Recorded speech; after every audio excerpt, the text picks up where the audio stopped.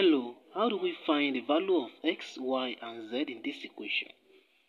So let's call this equation 1 and let's call this equation 2.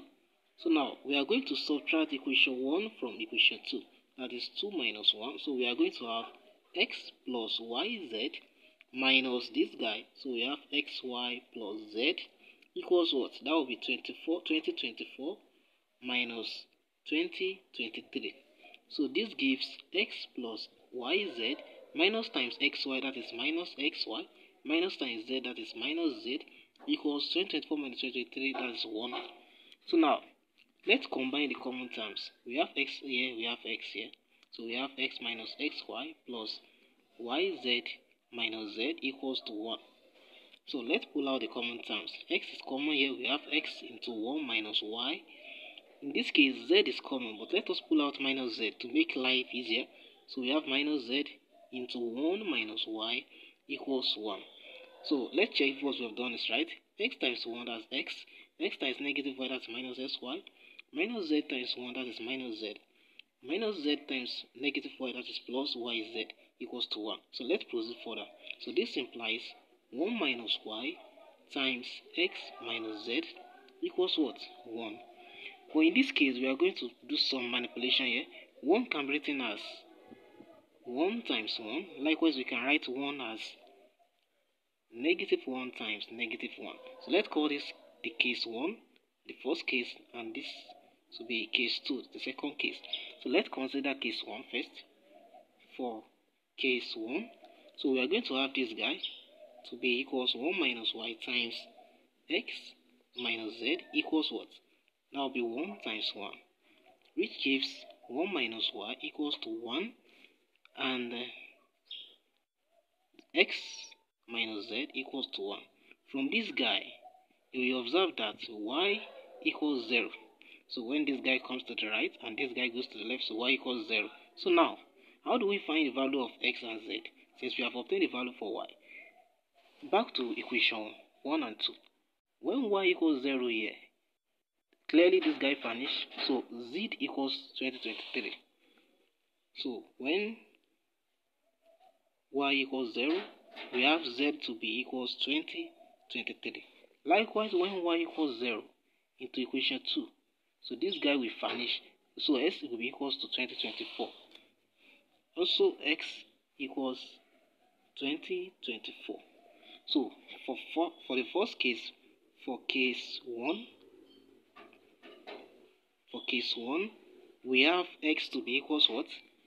Our x is 2024 and y equals 0 and z equals 2023. So now let's consider the second case. Case 2 when y equals to negative 1 times negative 1. So we are going to have we are going to have 1 minus y times x minus z equals negative 1 times negative 1 instead of having 1 times 1. So this implies 1 minus y equals minus y and uh, x minus z equals what? Minus 1. From here, you will observe that y will be equals to 2. And when this guy goes to the left and y goes to the right, so we have y to be equals to 2. So we are going to substitute the value of y when y equals 2. So we are going to substitute it into equation 1 and 2. So when y equals to 2, so we are going to have 2x plus z equals 23 for, for the first case. So we have 2x plus z equals 20, 23. Also, when y equals to 2, here, this will be 2z plus x. So we have x plus 2z equals 20, 24. So let's solve this guide simultaneously. So we call this plus and we call this plus plus. Let's multiply this guy by z by 2 rather. So we multiply this one by 1. We are going to use the elimination method here. So 2 times 2x that is 4x. 2 times z that is 2z. 2 times 2023 that will be 4046. So 1 times this guy we just get this guy back. So we have x plus 2z equals 2024. Now we can easily subtract this guy. 4x minus x that is 3x. This guy gives 0. 40 46 minus 2024, that is 2022. So now, let's divide both sides of this equation by 3.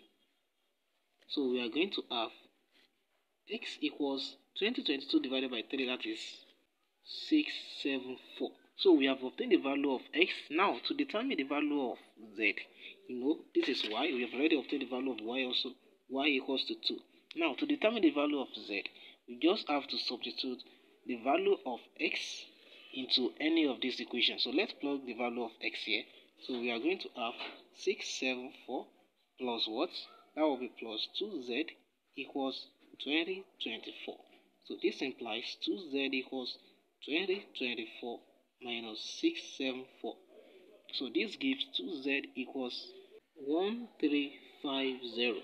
So this gives z to be equals 1350 over 2. So we have z to be equals, equals 675. So the value of z equals 675 and we have x to be 674, y equals to 2. So that's the solutions.